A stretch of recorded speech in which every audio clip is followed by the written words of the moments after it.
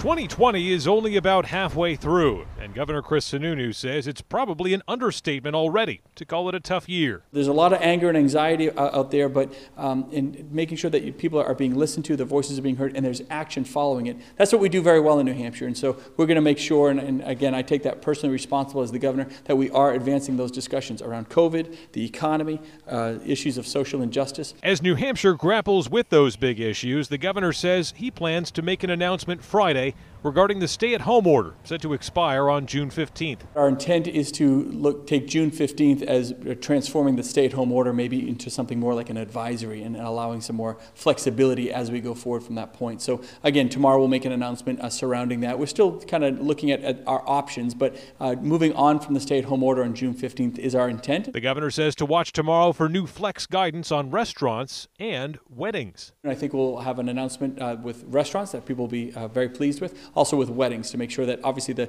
ceremonies can continue under the guidance we put forth last week. But if you're talking about the receptions and, and those sort of things, we'll have guidance that uh, moves that forward uh, tomorrow.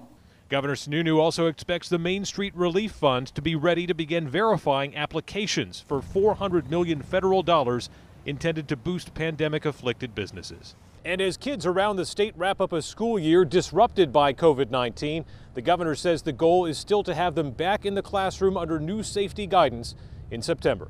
Reporting in Concord, Adam Sexton, WMUR News 9.